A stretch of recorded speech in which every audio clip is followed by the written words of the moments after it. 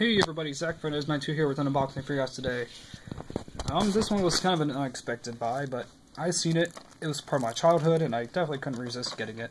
It's going to be for Halloween Town and Halloween Town 2: Kalabar's Revenge. I loved the Halloween Town movies growing up. Personally, my personal favorites one and two, which are these, luckily.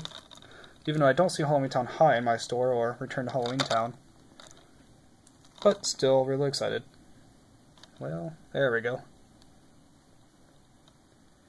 Loved these movies as a kid. Definitely, definitely love them.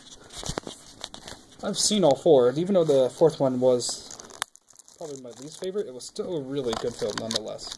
Even though they replaced the actor who played, actress who played Marnie, which is kind of surprising because it's been the same girl throughout the entire series.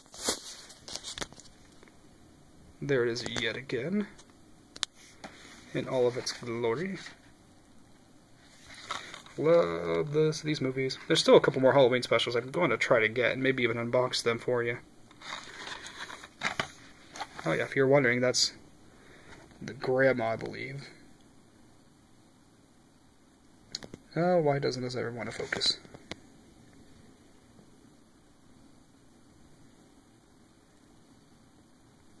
Well, as best I can get it. It's unfortunately only on one disc, I think, it said. Yeah, it's on one disc. But at least the disc has a really nice design, design on it.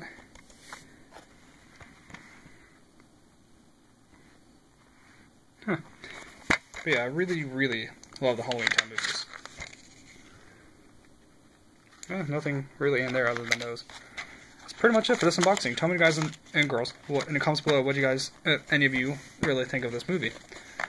I personally love the films. I'm hoping to get Halloween Town High and Return to Halloween Town some other day, and some other Halloween specials that are not related to Disney. See you guys next time, and God bless to all.